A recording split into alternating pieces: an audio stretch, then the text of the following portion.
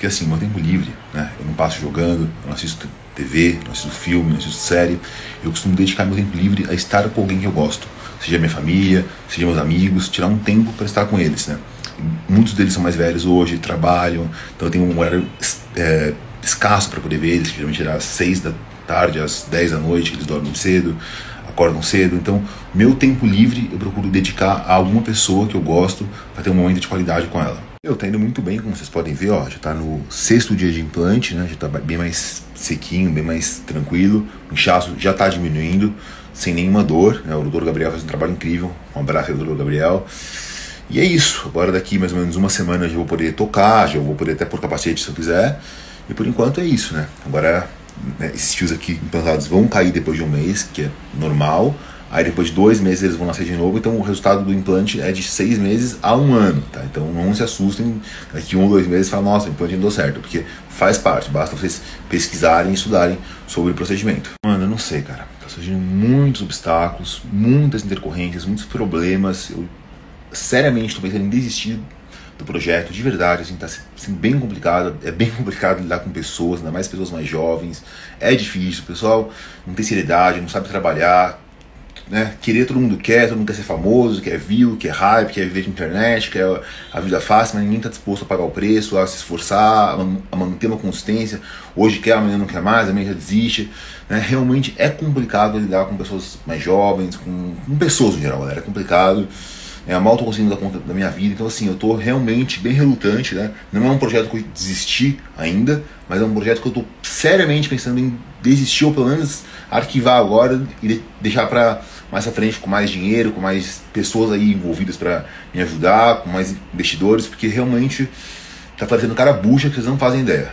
Pois é, né? Uma das coisas que eu mais recebo é me ajuda, me ajuda, me ajuda. O que, que seria ajudar? Te dar um pix, te dar um dinheiro, te pagar uma, uma, um boleto seu, uma, uma conta sua e depois? Como que se ajuda alguém?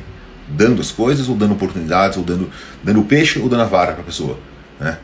Então assim, esse negócio de ajudar é uma coisa muito mal interpretada, né?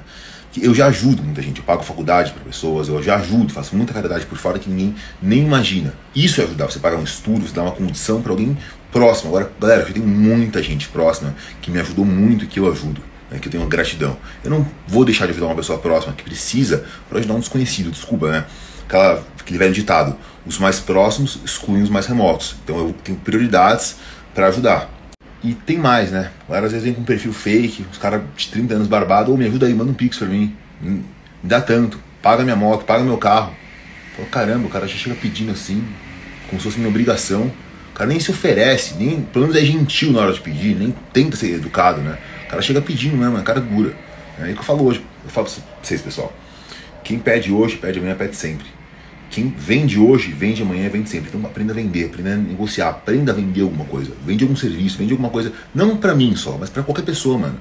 Pedir é fácil, né? Tipo um mendigo que tá no farol pedindo. Eu vou lá dou 100 reais pro cara. Eu ajudei o cara hoje. O cara vai lá comprar uma comida, um gorozinho. E amanhã? E depois de amanhã? Eu ajudei o cara. Isso ajudar? Então vamos dar oportunidades, vamos dar educação, vamos ensinar, vamos dar é, o, o valor da venda, o valor da negociação. Isso que as pessoas precisam aprender. A vender e não a pedir. Pois é, mano, isso não é uma roleta russa, não é um bagulho que eu vou na sorte e ai, vamos ver se vai. É feito todo um treinamento, como qualquer esporte, qualquer prática que você não tem capacitação, preparo para aquilo, você vai se machucar. Seja dirigir, seja fazer qualquer esporte, se você não é capacitado, não tem habilidade, não tem treinamento para isso, você vai causar um acidente, você vai se machucar ou machucar terceiros. Então o negócio do garfo não é assim, ah, eu vou tentar aqui. Não, eu treinei, já fiz todo um treinamento meu corpo, eu sei o meu limite, entendeu? Então não é um negócio, ah, vou quebrar um tijolo. Ah, se eu quebrar minha mão, eu sei o limite do quanto minha mão aguenta, eu sei a força que eu posso colocar, eu sei o quanto que meu osso aguenta, eu sei quanto de pressão que eu posso pôr. Então é feito todo um treinamento para isso. Então não é uma coisa na loucura, ah, vou pegar, sair dando um murro aqui e ver se quebra. Não é feito todo um treinamento para isso. Olha, mano, eu não sei nem se isso foi uma pergunta séria, falar bem a real.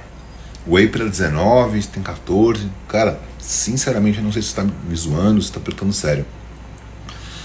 Mas, porra, se informa um pouquinho, mano. Tem Google aí, tá ligado? Põe google.com. Aí você pesquisa, tá ligado? Whey. Whey é um alimento, cara. Criança, idoso, como não pode tomar. Acho que uma coisa que fala assim, mano, eu tomei um leite hoje pra 20 anos, mas eu tenho 15. Pelo amor de Deus, mano. Mano, primeiramente, obrigado, fico lisonjeado. Você pode se inspirar sim em mim, né? Tem uma história bem longa aí, de muito esforço, superação, dedicação, são muitos anos aí é, treinando, fazendo muitas coisas. Mas não busque ser igual a mim, busque ser melhor, ser a sua melhor versão. Tá? Busque ser o seu melhor. Não se compara a mim, não tenta ser melhor do que eu. O que é ser melhor que eu? Pegar mais peso que eu, ser maior que eu, ter mais shape que eu, o que é ser melhor?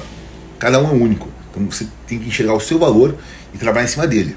Óbvio que é de boa. Se tem algum influenciador que acha que é inconveniente, o cara é um babaca, o cara é um imbecil. Mano, se eu tô gravando vídeo, se eu tô me expondo na internet, se eu tô produzindo, se eu tô querendo hype, se eu tô querendo audiência, é óbvio que, consequentemente, eu vou ser notado nos lugares. Isso é consequência do meu sucesso. Se eu não quero que me reconheçam na rua, eu fico anônimo. Eu fico low profile, eu paro de gravar vídeo, eu paro de aparecer na internet, eu fico anônimo. Se eu tô expondo a minha cara aqui em diversos vídeos no YouTube há anos, em todas as plataformas. É óbvio que, como consequência, as pessoas vão me reconhecer e vão querer tirar foto. Isso me deixa feliz, porque isso, é, isso mostra que meu trabalho está sendo reconhecido e que eu estou tendo sucesso no que eu faço. Então, obrigado a todo mundo que me para, tira foto. Isso me faz muito bem. Aliás, tem dias, inclusive, que eu estava bem para baixo, uma criancinha, assim, um adolescente, alguma, enfim, alguém com fã, veio tirar foto comigo com tanto carinho que isso me levantou. Então, obrigado, galera. Bem, para fechar aqui, faz dois anos que eu tô solteiro, tá? Esse ano, especificamente, eu não fiquei com ninguém até agora. Nem pretendo, tá? Eu realmente gostaria muito de me apaixonar de novo, gostaria muito de sentir algo a mais por alguém, tá? Tá difícil, tá, galera? Realmente tá difícil. Eu tô né, aberto a conhecer pessoas, tô tentando conhecer, mas tá difícil. Mas sim, eu gostaria de me apaixonar, gostaria de namorar sim, mas enquanto essa pessoa certa não aparecer, eu não vou me entregar para qualquer pessoa. É isso aí, tamo junto, galera. Vou encerrar aqui por hoje. Um abraço. Apontar o erro criticar, ver o defeito é fácil. Isso para tudo, galera. Né? Então, se você acha que o meu Instagram tá ruim, para de me seguir, cria o seu, consegue seu público, seus fãs, seu conteúdo, seu engajamento, do seu jeito, tá bom? Faz, já que é fácil, já que eu tô fazendo errado, então faz melhor.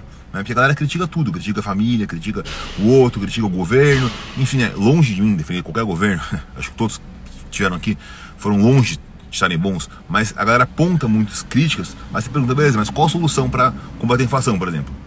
Aí eu não, não sei, né? Pô, a inflação tá alta. Beleza, mas o que você faria para baixar a inflação? Ah, não sei. Então criticar é fácil, né?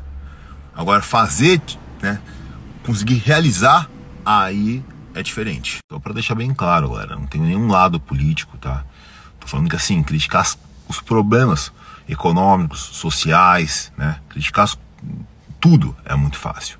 Difícil é achar uma solução, né? propor uma solução, se quer propor uma solução inteligente que resolva.